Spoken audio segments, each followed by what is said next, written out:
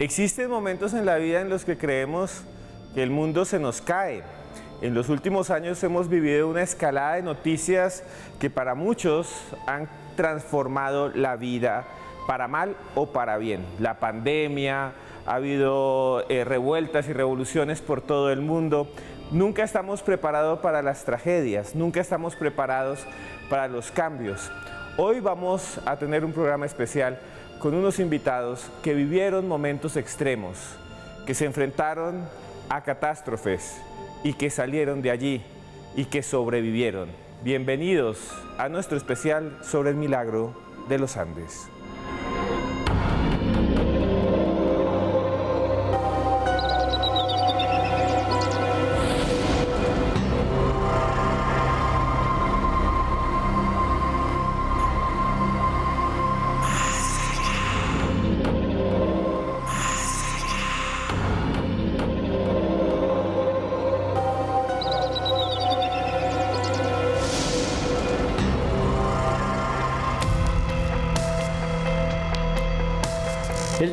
Octubre de 1972, un avión Fokker de la Fuerza Aérea Uruguaya partió de Montevideo rumbo a Chile con un equipo de rugby y sin saber que enfrentaría uno de los accidentes más célebres de la historia. De las 45 personas que viajaban a bordo del avión, 12 murieron en el acto por el impacto contra las montañas y otras 17 personas por las heridas la falta de alimentos o las durísimas condiciones que afrontaron. Los 16 supervivientes tuvieron que trabajar juntos para salir de allí con vida. Los días pasaban y los equipos de rescate no aparecían y la necesidad de sobrevivir les hizo llegar a la situación de alimentarse con los cuerpos de sus compañeros fallecidos. En medio del hielo, Nando Parrado y Roberto Canesa se arriesgaron a salir e intentar contactar con alguien que pudiera ayudarles. Porque tuvimos que sacar los heridos que estaban trancados entre los asientos y entre los fierros y acomodarlos como pudiéramos y era un día que nevaba mucho y hacía mucho frío. La caminata duró 11 días, luego de lo cual pudieron contactar a un campesino quien avisó a las autoridades. Al final, 16 supervivientes volvieron a casa tras 72 días perdidos entre cordilleras cubiertas de nieves perpetuas. Una historia que conmovió al mundo y que fue conocida como el milagro de los Andes, cuyos protagonistas cuentan su experiencia solo aquí, en Más Allá.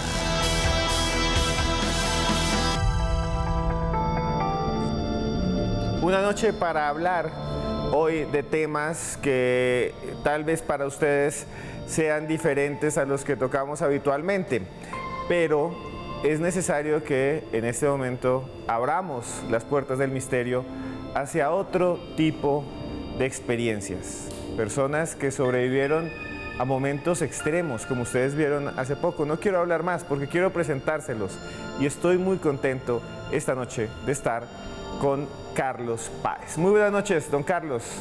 ¿Cómo estás, Esteban? Qué gusto hablar contigo. Un gusto, desde acá, desde Uruguay. Carlos, gracias por estar aquí en Más Allá. También nos acompaña Gustavo Servino, también desde Montevideo. Muy buenas noches, Gustavo. ¿Qué tal? ¿Cómo te va, Esteban? Un gusto estar con Carlitos, que es un hermano, y con todos los amigos Colombia en este programa. Bueno, yo quiero que esto sea una charla y la gente que está en redes sociales, por favor participe. Si está ustedes de YouTube también, escríbanos. Yo quiero que esta noche los escuchemos a ellos, que esta vez sea un programa para congregarnos alrededor de lo que nos hace seres humanos. Y quiero comenzar por el comienzo. Carlos, ¿cómo era su vida antes, antes de todo lo que vamos a ver?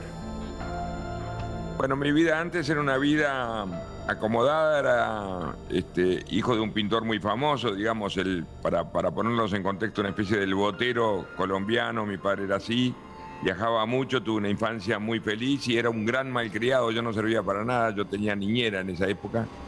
Este, o sea que era un chico que, como dicen en México, un junior. Este, y bueno, y a esa edad, a los 18 años, me toca enfrentar esta historia, que lo que tiene de interesante es la evolución y transformación que se da en la persona después de vivir 70 días en esta, en esta, bueno, la gente le llama tragedia, yo ya lo veo como otra, de otra manera, porque en definitiva lo que triunfó fue la vida y eso es lo que yo me tengo que agarrar, tengo que tratar de ver la cosa positiva dentro de lo negativo. Hoy somos más de los que salimos en aquel avión, están nuestros hijos, yo tengo nietos, o sea que es una historia que valió la pena haberla vivido para que lo que triunfe sea la vida. Gustavo, ¿cómo comenzó todo? Usted eh, eh, era muy joven, era un jugador de rugby. ¿Cómo, ¿Cómo fueron los días antes y los años antes y los meses a ese vuelo? Bueno, yo soy compañero de Carlitos de jardinera, enfrente de mi casa, y soy amigo toda la vida, compañero del Christians.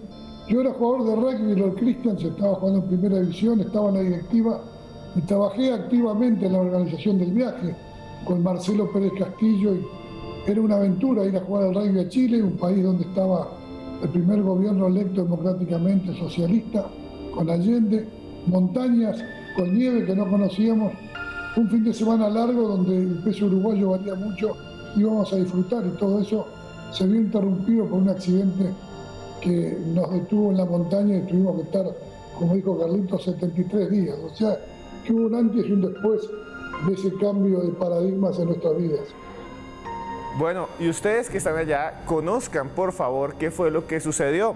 Camilo Caballero y Joana Arenas nos prepararon este informe en el que nos cuentan qué sucedió, qué fue lo que cambió la vida de estas dos personas y de gran cantidad de ciudadanos de América Latina.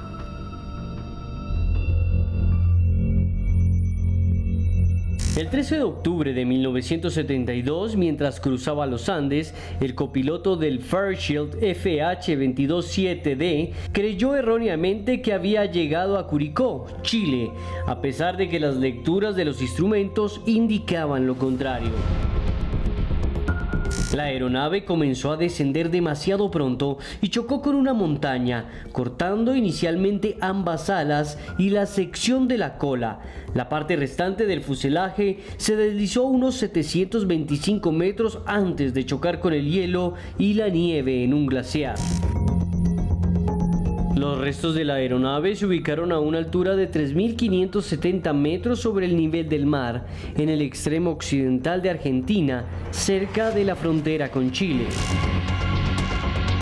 El avión se partió en dos. Tres miembros de la tripulación y ocho pasajeros murieron inmediatamente y otros murieron poco después debido a las bajas temperaturas. 11 aviones de Argentina, Chile y Uruguay buscaron el vuelo derribado, pero no encontraron nada.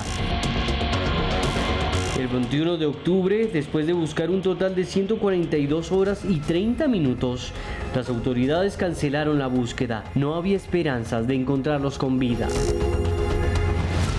Sin embargo, la fuerza de voluntad y el instinto de supervivencia se impuso sobre la tragedia y 16 personas lograron sobrevivir su historia esta noche solo aquí, en Más Allá.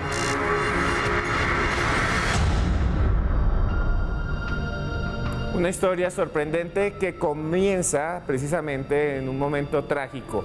Me gustaría preguntarle a Carlos eh, rápidamente, ¿cómo fue el accidente? ¿Qué, qué vivió usted? ¿Cómo fueron esos momentos, esos segundos que a veces nos parecen eternos en este tipo de circunstancias?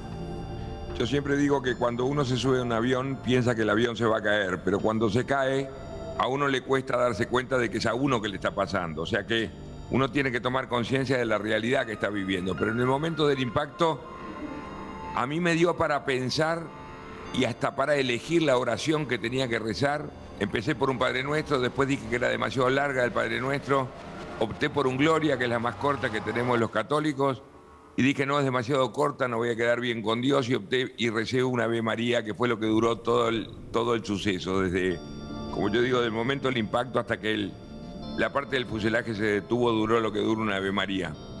Pero claro, a lo largo de ese Ave María, muchas cosas pasaban, el avión que se partía al medio, el frío más brutal que entraba, el caos más absoluto, el griterío más bestial y de pronto se, detiene abruptamente. Yo me acuerdo que el avión se partió unos 20 centímetros atrás de mi asiento y uno no puede creer que le está pasando eso.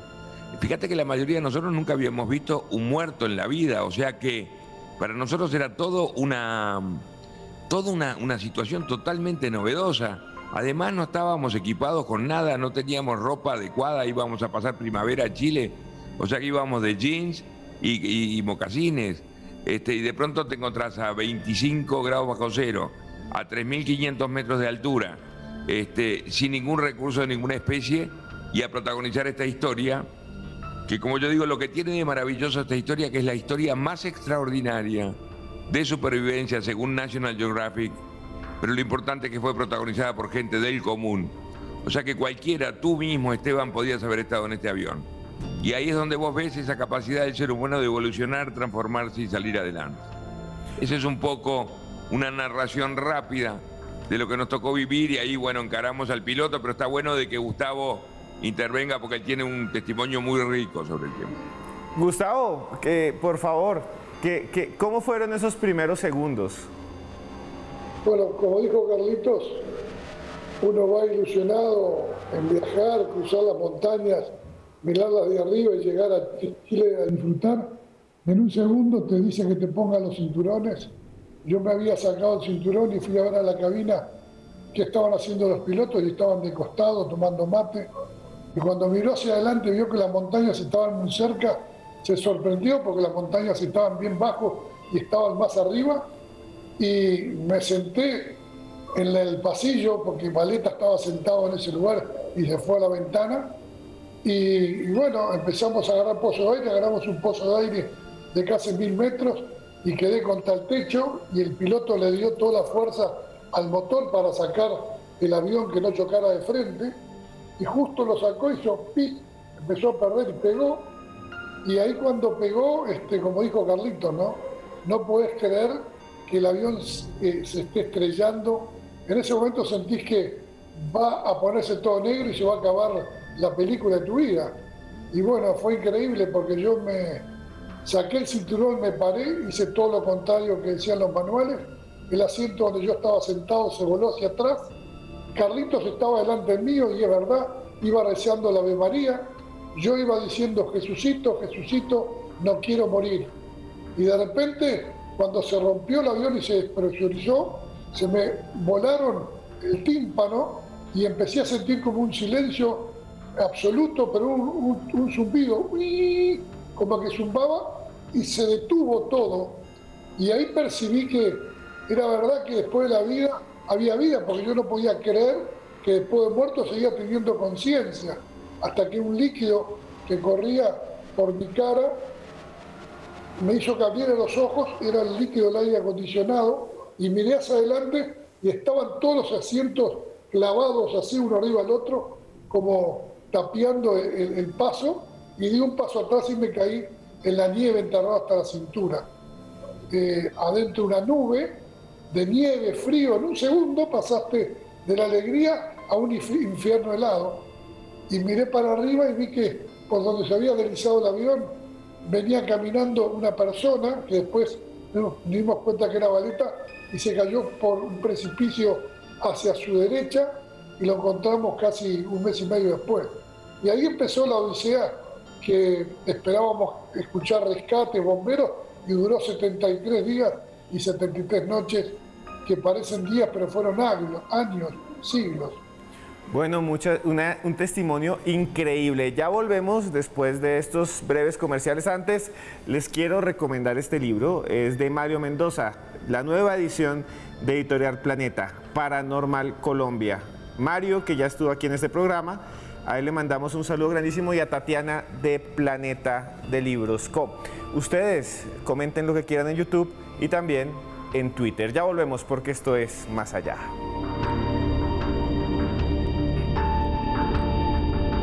Continuamos esta noche en la que hablamos del milagro de los Andes, aquí en Más Allá. Mucha gente escribe con el Twitter de esta noche, con el numeral que es Andes Más Allá. Me sorprende muchísimo que hay una gran cantidad de gente en Honduras, Guatemala, Ecuador, Nicaragua, todos ustedes muchas gracias. Desde Macao, en China, al matrimonio Bermeo, a todos ustedes muchas gracias. Y bueno, quiero mostrarles esta imagen a continuación y es un mapa eh, en el cual estamos señalando dónde fue el accidente. son lugares inhóspitos, lejanos, y quiero empezar por ahí, por preguntarle a Gustavo, cuando se encontraron ahí, ¿qué es lo que vieron? Porque son zonas muy apartadas, donde ni siquiera hay árboles. Quiero que le cuente a la gente qué es lo que había allí, cómo usted salió a un aeropuerto y de pronto estaba en la mitad de las montañas. Y nosotros nos estrellamos contra el volcán Tinglirica, 5.400 metros de altura, el avión se partió al medio en miles de partículas y se deslizó y paró en un, en un glaciar que tiene 3.000 años, que se llama el Valle de las Lágrimas.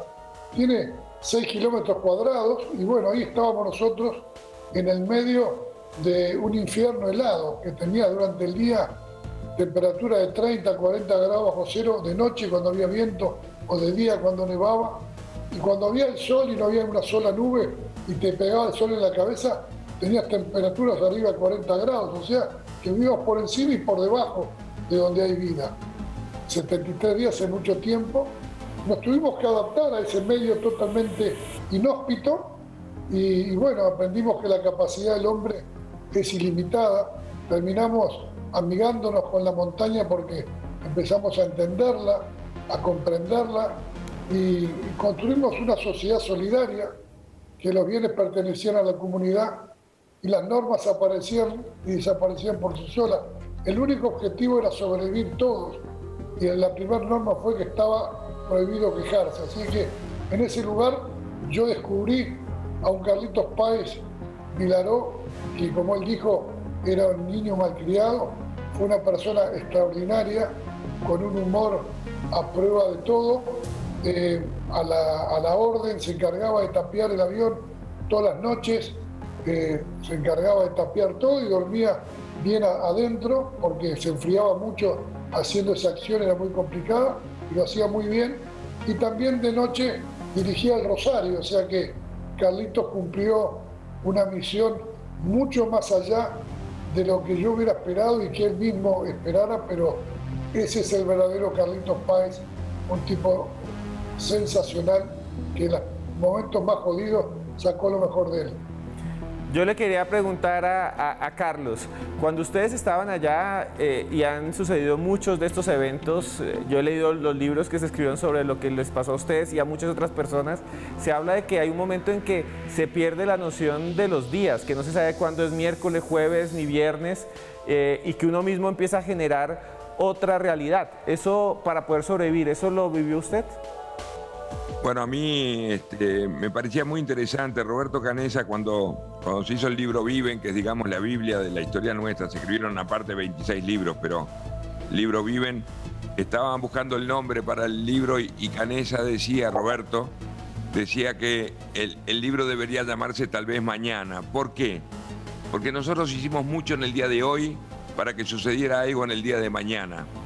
A diferencia de un preso que, sabe cuándo termina su condena, nosotros no sabíamos. Entonces, yo me enteré de los 70 días que habíamos vivido en Chile cuando salió la prensa que dijo, bueno, tuvieron 72 días o 73 en caso de Gustavo este, en los Andes. O sea que nosotros no contábamos con eso, no, mirábamos el tiempo, si bien sabíamos la hora y sabíamos todo, pero no sabíamos que habían sido 70 días. Nosotros peleábamos mucho en el día de hoy para que sucediera algo en el día de mañana. Este, mm, así que esa, esa era un poco la filosofía. Fue una de las historias más notables de trabajo en equipo. Este, nosotros trabajamos todos, como decía Gustavo recién, todos para que saliéramos todos. No es como a veces en estas series, este, estos realities, que todos pelean para, que, para, para salvarse ellos, nosotros peleamos para salvarnos todos. Esa es la gran diferencia que tenemos. Este, Gustavo también fue un colaborador infernal, infernal, se ocupó de cada detalle de cada uno, inclusive de los que, de los que morían.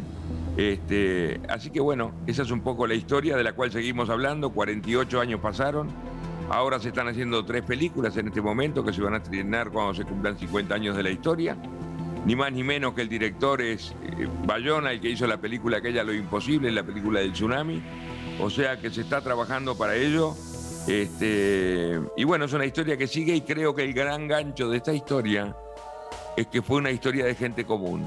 No éramos superdotados, éramos chicos En mi caso yo no servía para nada y de pronto, gracias al tiempo y a la capacidad que tiene el ser humano de encontrar recursos, pudimos evolucionar para salir adelante. Pero todos juntos, ese es el tema. Y aparte es una historia que nos mantiene unidos. Después de 48 años hemos tenido mil proyectos, sea documentales, sea películas, sea libros, que nos mantienen unidos. Por supuesto que hay una...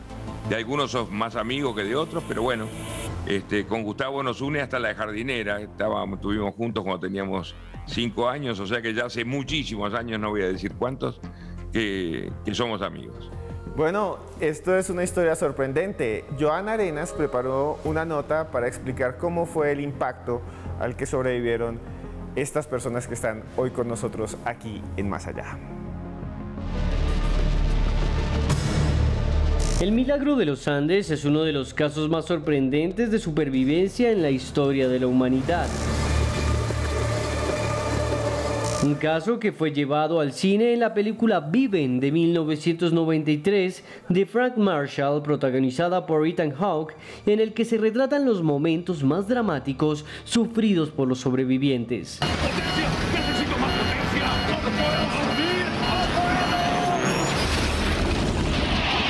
Asimismo, se han escrito docenas de libros sobre el caso, textos que han sido traducidos a cientos de idiomas y que han dado a conocer detalles insospechados de lo ocurrido entre las montañas.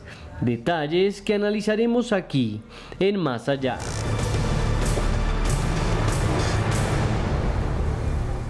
Muchas de las cosas que nos preguntan y escriben es que quieren saber cómo eran esos días en las montañas. Y quiero empezar por Gustavo. ¿Cómo eran esos días en las montañas? Hoy no quiero yo hablar tanto aquí en el programa, quiero que hablen nuestros invitados y nuestros televidentes. Preguntan eso, ¿cómo era el día a día en esos 70 días y algo más?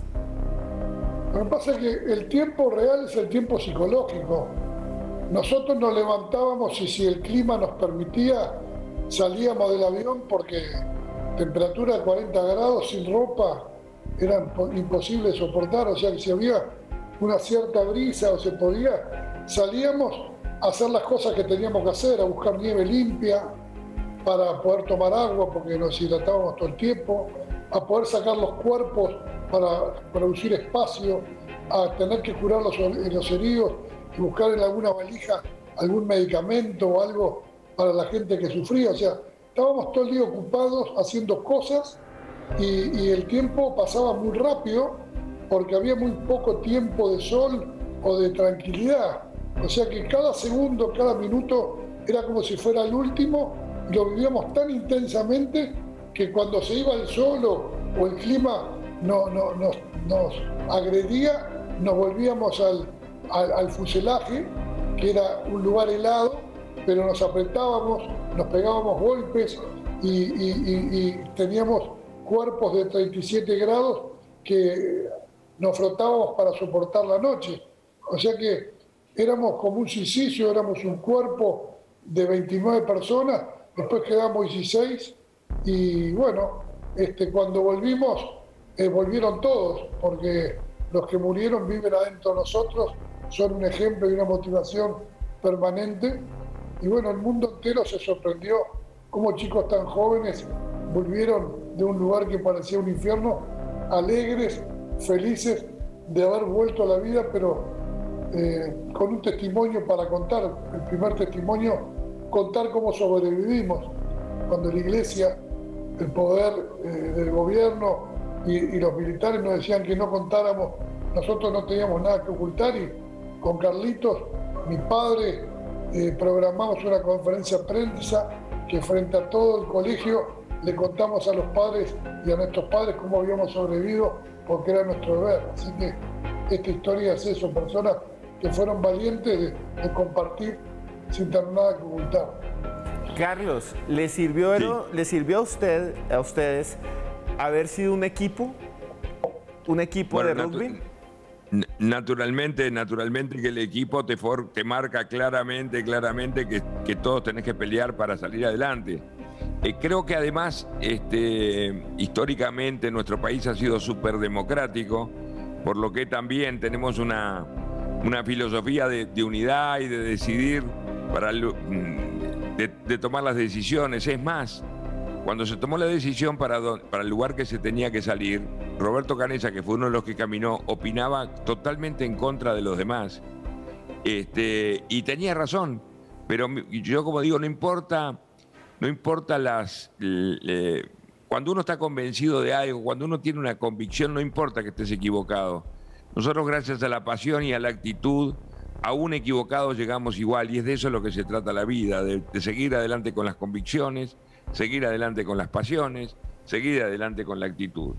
Es bueno también eh, recordar que nosotros en el día 10 de la historia sucedió la peor noticia que te puedas imaginar, que es recibir por radio, teníamos una pequeña radio espica, la noticia de que no nos buscaban más.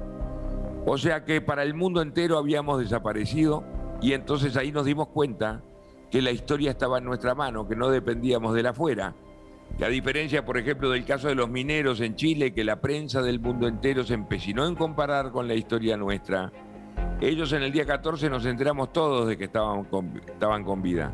En cambio, en la historia nuestra, en el día 10, nos enteramos de que el mundo entero, porque así lo vive el ser humano, con cierta arrogancia, el mundo entero nos había olvidado. Yo no podía comprender no podía comprender de que se seguía jugando al fútbol, de que los astronautas llegaban a la luna, de que se festejaba en Uruguay el Día de las Playas, el 8 de diciembre y nosotros perdidos allá. Este libro que yo escribí cuando cumplí 50 años, que se llama Después del día 10, porque creo que el día 10 parte la historia, es decir, cambia la actitud del dejar de esperar para empezar a actuar, se iba a llamar en un momento dado Gira Gira como el tango, a ese famoso de Gardel. ¿Por qué? Porque yo no podía entender de que el mundo seguía adelante, que en el fondo fue un mensaje poderoso de Dios de darnos cuenta de que el camino era por el lado de la humildad, que es la otra gran palabra que tiene esta historia. Para mí humildad y actitud son las dos grandes palabras que lideran esta historia.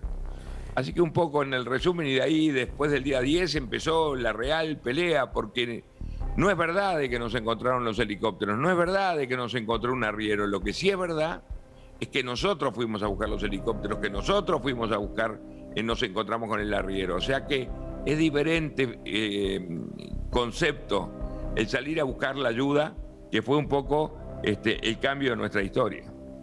Bueno, Carlos, muchas gracias. Ya volvemos con Gustavo y con Carlos, aquí que nos están contando esto que es impresionante. Los quiero recomendar nada más este libro que nos envía Panamericana editorial. Es Lovecraft, Howard Philip Lovecraft, uno de los escritores de terror más importantes del mundo. Es una edición muy bonita, a mí me gusta mucho porque tiene unas ilustraciones increíbles y no lo envía nada más y nada menos que la señorita Camila Melo. A Camila, muchas gracias, el libro lo consiguen en cualquier librería del país. Sigan tuiteando con Andes Más Allá y ya regresamos.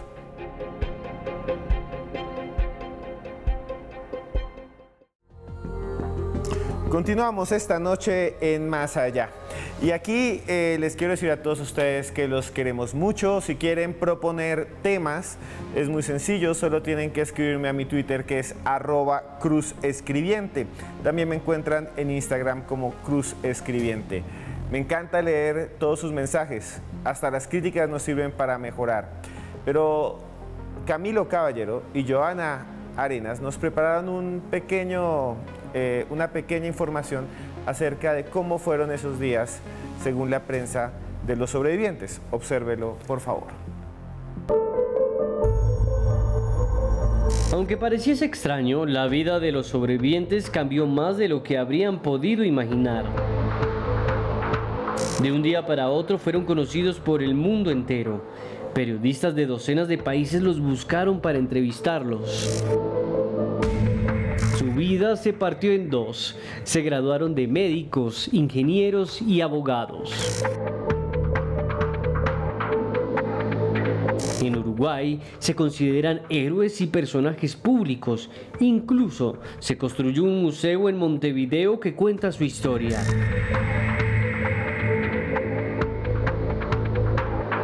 Presidentes y gobernantes han reconocido la importancia del acontecimiento. ¿Cómo cambió este suceso la vida de sus protagonistas? ¿Qué mensaje nos entrega su experiencia? Lo comentan los sobrevivientes, solo aquí, en Más Allá. antes de ver estos cambios y preguntar por estos cambios, me gustaría eh, transmitirles algunas de las preguntas que nos han hecho ustedes, tanto en el canal de YouTube como en Twitter. Y quisiera preguntarle a Gustavo, nos están preguntando sobre un momento que ustedes vivieron que fue muy tenso, en el que aparte de que habían estado ahí eh, en el accidente, vino una especie de avalancha. ¿Nos puede contar sobre eso? ¿Nos están preguntando sobre ese acontecimiento? Sí, el día 29 de octubre, 16 días después de que se cayó el avión, en el día 10 escuchamos que se suspendió la búsqueda y nos revelamos y subimos arriba y dormimos a la intemperie y ahí pudimos ver que estábamos en el medio de la montaña o sea que cuando yo estaba muy deprimido, me había quedado ciego, eh, dormía con Carlitos Páez al lado mío, aquí, Carlitos yo acá, enfrente a mí, abajo con la espalda en Argentina, estaba Gustavo Nicolich. En la noche, no sé por qué, eh, Gustavo Nicolich me pidió para cambiar. O sea que yo me fui para abajo, el que estaba con la espalda hacia Argentina estaba un metro y medio más abajo que el que estaba para la, con la espalda con Chile. Y serían las 4 de la tarde, nevaba hacía tres días, un frío barro y de repente sentimos un ruido como que temblaba. Y me quise mover y era como si me hubieran tirado mil kilos de cemento. Yo no pude mover ninguna parte de mi cuerpo. Pero en mis manos tenía los pies de Gustavo Nicolich. O sea que los friccioné un poco así para que él me toque así, me conteste. Un segundo después ya Gustavo no me contestó. En el codo a la izquierda tenía a Pancho Delgado, le toqué el codo, tampoco me contestó porque se había corrido se había caído una tapa del avión. O sea que las personas que toqué ninguna contestó. En ese momento me entré a desesperar, mi mente se empezó a acelerar, me empezó a venir un miedo bárbaro, quería respirar, no me entraba el oxígeno, me entré a volver loco y de repente sentí como una voz que me dijo, pará, pará, pará, tranquilo, tranquilo. Era como que cuando nacemos salimos de la vida intrauterina y entramos a otra vida y dije, todos nos vamos a morir, en vez de asustarme, me entregué a vivir la, la vivencia. Y en ese momento que me entregué a vivir la vivencia de la muerte, porque no podía hacer nada para evitarla, se me bajaron las contracciones, el, pulmón, me relajé, ¡boom! Y me transformé en una imagen sentado en, la primera fila de un teatro, viendo mi vida para atrás en imágenes maravillosas, solo imágenes buenas, lindas, hasta llegar gateando al lado de mi madre, y de repente se apagó eso y se transformó en luz, que iban a un centro medio flujo, y en ese lugar que era maravilloso, con música, que no, no tenía ansiedad por llegar, estaba en, un oasis, sentí la palabra Gustavo como el despertador que suena los lunes y querés seguir durmiendo. Y el que dijo Gustavo fue Carlitos Páez Vidaró. Eh, yo no, no sé, pero Carlitos salió a buscar a Gustavo Nicolich, que estaba en el lugar que yo estaba en ese momento, y de arriba debe haber escarbado como un metro para llegar a Gustavo desesperadamente en la oscuridad más absoluta para salvar a su amigo. Y llegó a mí y cuando me tocó, me vio congelado, muerto y se dio cuenta que no era y se dio vuelta y se paró arriba de mi cara para destapar arriba a Nicolís. Yo en ese lugar, en ese momento, sentí que me habían eh, pinchado el globo y mi cuerpo, en vez de seguir este, flotando, cayó como un piso 10 adentro de mi cuerpo, ¡bum! Y cuando abrí los ojos, Carlito me estaba pisando. Entonces yo lo mordí, no sé qué hizo, Carlito se dio vuelta y me sacó. Y los dos juntos tratamos de escarbar a, Gustavo y cuando llegamos estaba muerto en la oscuridad. Y esto fue una carrera contra reloj, porque a medida que vos destapabas a uno, tapabas al otro. Y Roy fue el que destapó, creo que a Carlito. O sea que en la oscuridad más absurda tuvimos tres noches, 60 centímetros desde la nieve hasta el techo, eh, totalmente congelados, con humedad, con agua que corría, con frío, que fueron tres siglos. Prendías un encendedor Ronson y la llama hacía así se apagaba. O sea que había que respirar lentamente. Bueno, yo no sé cómo hicimos, para aguantar todo eso. Pero no solo eso, que Carlitos, como es totalmente demente, y en los peores momentos le sale esa locura que tiene histriónica, empieza a decir, hoy es el cumpleaños de mi padre. Y entonces prendíamos el encendedor, después era el cumpleaños de Numa Turcati y después el cumpleaños de, de, Pancho Delgado. Y festejamos en, ese, en esa muerte cada momento lindo, simplemente para cumplir con un festejo. Es muy loco esto que te cuento, porque en el estado más demencial y más doloroso teníamos el tiempo que tenía Carlitos o cada uno de reírse de nosotros mismos. Carlos, me gustaría saber sobre eso que nos cuenta Gustavo. ¿De dónde salían esas ideas en medio de, la tragedia, en medio de ese día a día? Bueno, yo, yo era bastante inconsciente, como te dije, un niño malcriado y todo, que tengo el placer de haberle impedido el momento de placer que tenía Gustavo de haber, cuando iba camino a la muerte. Se ve que me dio celos de que se la estaba pasando tan bien y entonces dije, lo voy a, lo voy a destapar, lo voy a pisar. Este, pero no, yo creo firmemente que aún en los momentos peores este, hay que recordarse los momentos positivos. Eh, justo en la portada de mi libro yo puse una cruz este, que el ser humano es un empecinado en ver los símbolos en negativo, la cruz es algo que tacha, es algo que elimina, sinónimo de muerte. Yo lo veo como las aspas del helicóptero, como un símbolo positivo, un símbolo de libertad. Y yo creo que aún así, en los momentos más caóticos, fíjate que yo perdí, mis dos mejores amigos murieron en la avalancha, que eran Gustavo Nicolici y Diego Storm. Aún así, hubo tiempo para para celebrar el cumpleaños de Numa Turcati, el cumpleaños mío, yo cumplí 19 años abajo de la nieve, y el cumpleaños de mi padre, que fue el primero de noviembre, que, que fue lo que me motivó a que saliéramos algunos al techo del avión a saludar a mi padre. O sea que yo creo firmemente que hay que encontrar dentro del drama la parte positiva, porque las tienen las historias. Realmente todas las historias, yo siempre digo, que cada cual tiene su propia cordillera, pero que cada uno tiene que mirar para atrás a sus cordilleras, pero para ir para adelante, encontrando lo positivo dentro de lo negativo, porque siempre lo hay. Fíjate que en nuestra historia, yo cuando veo la foto de todos los sobrevivientes con sus hijos y nietos, ahí se marca claramente que valió la pena nuestra historia porque lo que triunfó fue la vida. Bueno, triunfó la vida y lo mejor lo hemos dejado para el final. A ustedes quédense ahí en estos comerciales. Les recomendamos este libro también otra vez de Planeta de Libros, gracias a Tatiana. Se llama Cuando todo pase, de Diego Fischer. Un libro que habla también de Uruguay un poco y que lo presenta aquí Planeta y Tatiana de Planeta de Libros para todos. Ustedes lo consiguen en cualquier librería del país. Sigan tuiteando con Andes más allá y ya regresamos.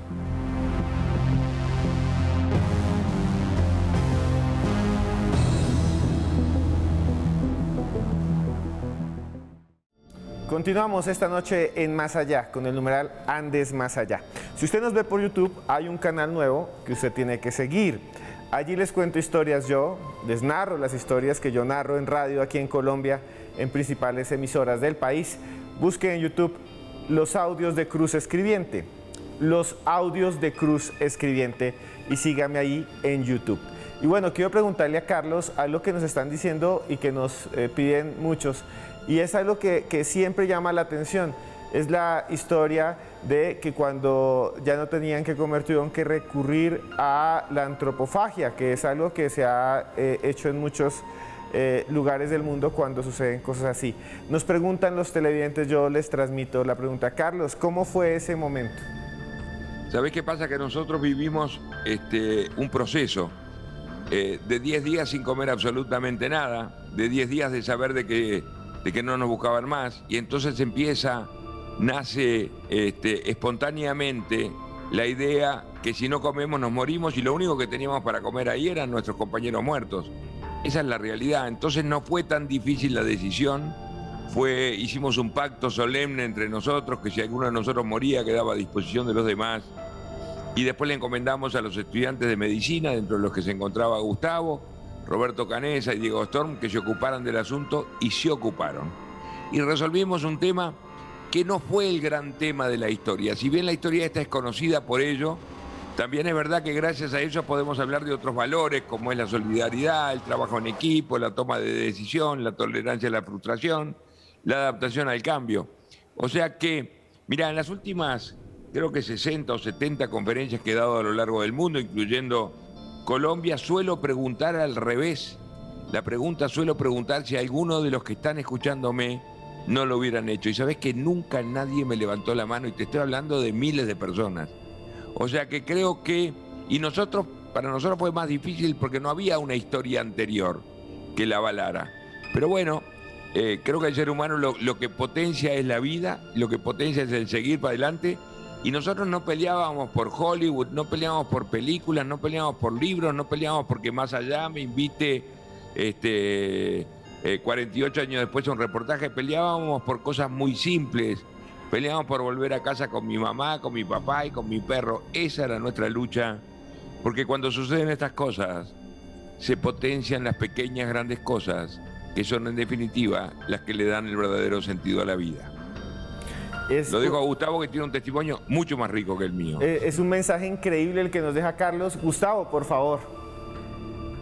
Yo creo que, como dijo Carlito, no teníamos opción, pero Gustavo Nicolich, que murió frente a mí, la noche antes, Carlitos que agarró un papel, empezó a dar papeles para que escriben notas, escribió una nota muy grande Gustavo Nicolich, que la agarró, se la guardó en el saco y me dijo que era para la madre y la hermana. Después me dio él a mí la carta para que yo escriba. Yo puse el lápiz sobre la carta, el papel en blanco, y mi mano no se movía, mi mano no se movía.